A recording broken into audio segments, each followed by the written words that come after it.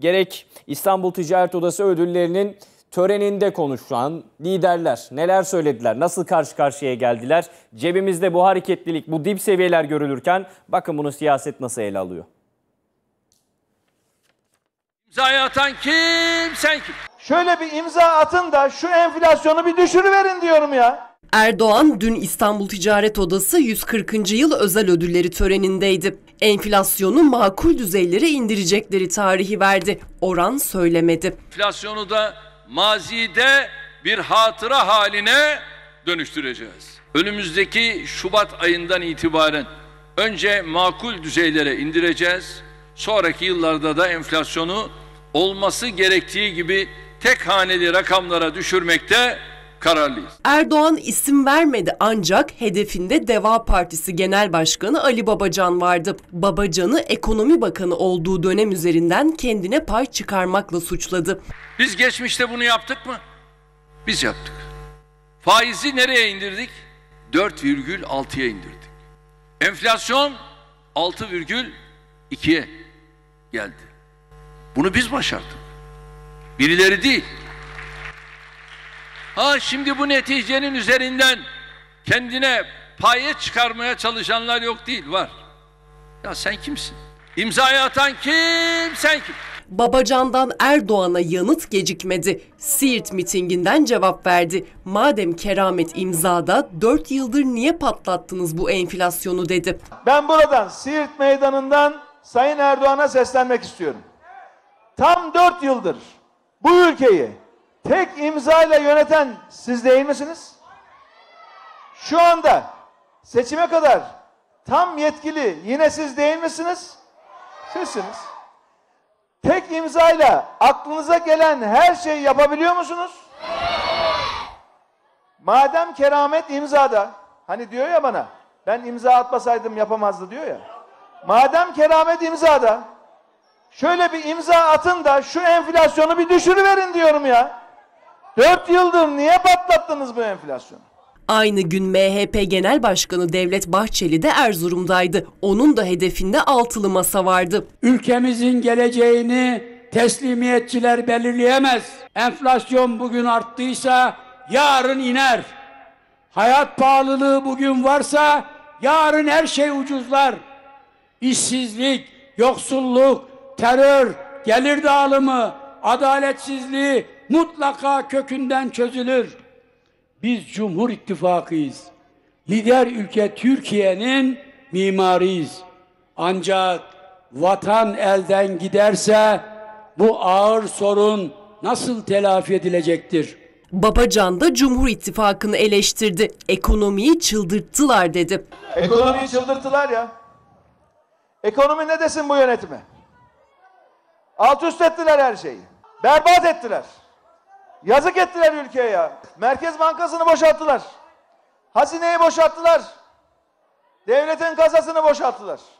Merkez Bankası'nı borçlu duruma düşürdüler ya. Devletin para basan kurumunu. Devam ediyoruz. Geldik siyasetin nabzına. Az önce arkadaşımız Şeyma Paşa Eğit'in aktardığı kulis bilgileriyle birlikte. Millet Masası ikinci tura. Kuşkusuz adaylık, kuşkusuz ekonomi, kuşkusuz deyim yerinde ise gölge kabine ama bunların arka planına dair çalışmalarla başlayacak. Daha somut verilerin duyulması ümit edilen bir döneme giriyor artık. Altılı Masa Millet Masası ikinci tur görüşmelerine başlarken. Bir yanda ise helalleşme adımlarının atılmaya devam ettiğini görüyoruz. CHP lideri Kemal Kılıçdaroğlu IŞİD'in katlettiği Fethi Şahin'in ailesine gitti ve ailesine şu sözü verdi. İktidar olduğumuzda bu olayın tüm arka planı açıklanacak. Kamuoyuna da açıklanacak dedi. Vatandaşın da bilmeye hakkı var şehitlerine neler olup bittiğinin ne yaşatıldığının hakkı var dedi. Dönelim konuşmaya başlayalım şimdi efendim. İki değerli konuğumuz olacak. Araştırmacı, Bulgar araştırmadan biliyorsunuz. Semih Turan daha önce sıklıkla konuk ettik kendisini bizlerle birlikte. Aynı zamanda siyaset bilimci Alpan Telek daha önce birçok yayınımızda konuk etmiştik. İki değerli konuğumuzla başlayalım. Semih Bey merhabalar, hoş geldiniz yayınımıza. Merhabalar, hoş bulduk. İyi yayınlar diliyorum. Çok teşekkür ediyorum. Alpan Bey merhaba, hoş geldiniz.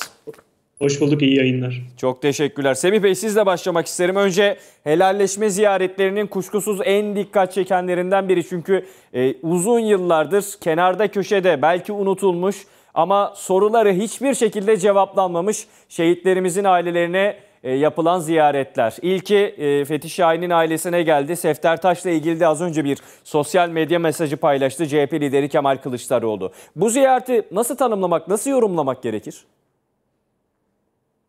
Ee, aslında bu ziyaret e, helalleşme ve e, hemen peşine de konuştuğumuz hesaplaşmanın ve iç içe geçmesinin çok e, önemli bir örneği diye e, görüyorum. Hı hı. Çünkü e, Sayın Kemal Kılıçdaroğlu'nun sürecin başından beri sürekli helalleşmeye bir vurgu yaptığını görüyorduk. İlk önceleri çok fazla anlaşılmayabiliyordu e, seçmen kitlesinde ama artık somut adımlarla e, yapılan bazı e, görüşmelerle, ziyaretlerle bu hem Güneydoğu Anadolu bölgesi için hem bugün yapılan son görüşme için artık helalleşmenin içi de doldurulmaya başlandı. Ama hemen peşine e, atılan tweet ve basın açıklamasından gördüğümüz kadarıyla tamam helalleşme, bu insanların haklarının verilmesi, e, tanınması, şehitlik birine verip birine verilmemesi çelişki gösteriliyor. Ama hemen peşine atılan tweette perde arkasının hepsini açıklayacağız ve soruşturacağız dendiğinde de aslında bu da Kemal Bey'in bahsettiği helalleşme ve hesaplaşmayı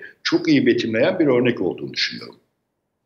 Alpan Bey aynı soru ama şu açıdan sorayım. E, helalleşme ve hesaplaşmanın bir araya geldiği bir ziyaret oldu dedi Semih Bey. Katılıyor musunuz? Nasıl yorumlamak, nasıl gözlemlemek lazım? Bir de milli güvenlik olsun, dış politika olsun, sınır güvenliği olsun ya da konu şehitler olsun. Bu konuda CHP liderinin attığı bir adım, e, bu konuda iktidar olduğumuzda arka planını açıklayacağız sözü vermesi. Örneğin Cumhur İttifakı kanadında bu meselenin uzun zamandır konuşulmadığı, belki de konuşulmaktan kaçındığı bir hususla ilgili nasıl bir etki yaratacaktır?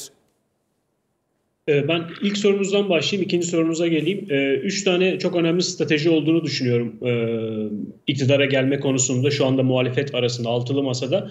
Tabii bunlar çok fazla seslendiriliyor. Üç stratejiden biri ki ben bunu iktidar stratejisi olarak adlandırıyorum o da helalleşme.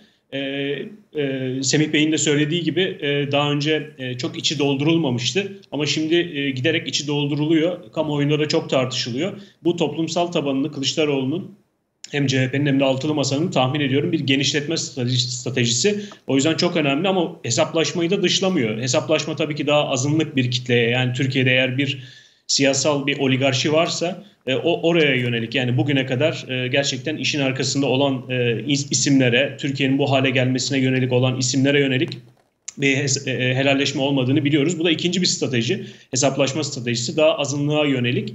Ama biliyorsunuz bir de e, geçtiğimiz günlerde Ahmet Şık seslendirmişti.